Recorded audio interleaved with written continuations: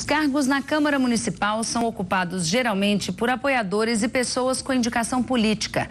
As qualificações técnicas costumam não importar tanto.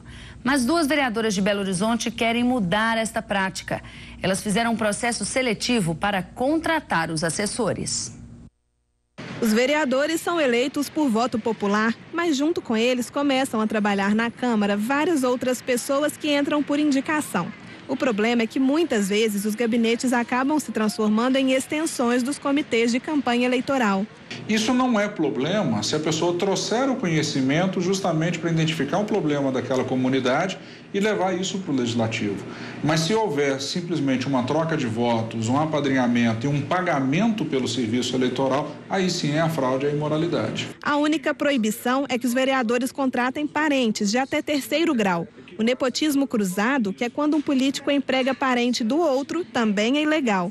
Mas além dessa restrição, não existe na lei uma forma de tornar mais justa a escolha dos funcionários dos gabinetes. Um estudo feito pela ONG Transparência revelou que Belo Horizonte é a sétima cidade entre as capitais que mais gasta por gabinete. Aqui, cada vereador recebe por mês R$ 55.832 para pagar assessores. O problema é que essa verba nem sempre é investida na contratação de pessoas capacitadas para ajudar o vereador a atender as demandas da cidade. O custo do legislativo ele tem que ser ponderado em quais questões? Em questões de representatividade social.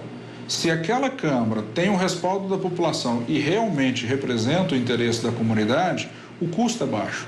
Na hora que há um distanciamento e essas pessoas que estão no legislativo não conseguem representar o anseio da população, qualquer centavo é muito caro. Em Belo Horizonte, duas vereadoras decidiram abrir um processo seletivo comum para contratar assessores.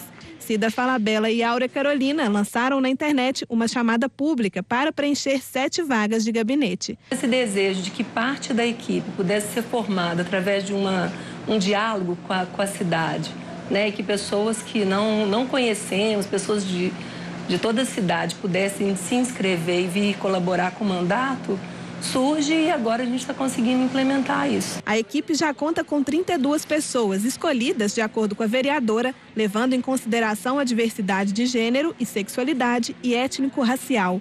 A isonomia salarial também foi adotada. A gente não pode fazer política só com bons projetos né, no papel, mas na, numa prática realmente democrática, inclusiva e, e que esteja atenta para uma sociedade em transformação. É bem interessante, que dá oportunidade para todo mundo, né? Porque essa de escolha, né, todo mundo já está cansado de ver escolhendo, principalmente parente e tal. Eu acho que assim fica mais transparente. Fica difícil a gente até opinar, porque a gente acha que está opinando certo, está opinando errado. Se elas levarem a sério a competência das pessoas, a oportunidade que está sendo dada, sim. As vagas são para motoristas e profissionais nas áreas de comunicação, jurídica e teatro legislativo. As inscrições podem ser feitas pela internet até o dia 6 de março ou presencialmente nos dias 2 e 3 na Câmara Municipal. Os links das vagas estão no perfil do Facebook Cidade